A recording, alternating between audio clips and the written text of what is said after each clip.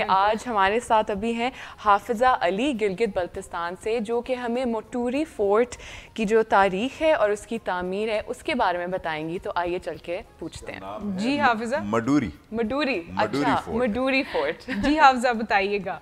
अब हम इस फोर्ट के हवाले से जिस फोर्ट को मुडूरी कहा जाता है इसके हवाले से हिस्ट्री को थोड़ा सा समराइज करते हैं। और ये हिस्ट्री हमें मिली है इस एरिए के नंबरदार से।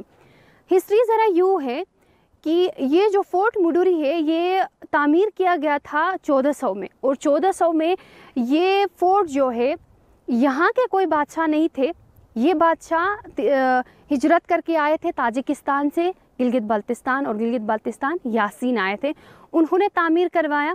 तामीर करवाने के बाद राजा, महाराजा आते गए।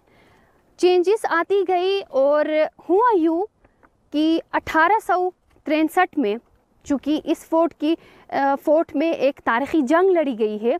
उस जंग की हिस्ट्री है अठारह हुआ यूँ कि अठारह में जो पुनियाल के बादशाह थे, उनका यहाँ यासीन के बादशाह, उस वक्त के वो लोकल बादशाह थे, खुशवक्त थे। तो उनके साथ एक क्लाश चल रहा था, जिसकी वजह से उन्होंने कश्मीर से डोगरा राज को गिलगित बल्तिस्तान यासीन बुला लिया। और बुलाने के बाद उन दोनों की प्लानिंग से अब इस फोर्ट पे हमला होना था और ये फोर्ट जो है खुशबख्ते का था। उस वक्त के जो हुक्मरान थे, वो काबिज थे यहाँ पे। और इस फोर्ट के, अगर हमारा कैमरा पर्सन आपको दिखा सके, उस साइड पे, ज़रा राइट साइड पे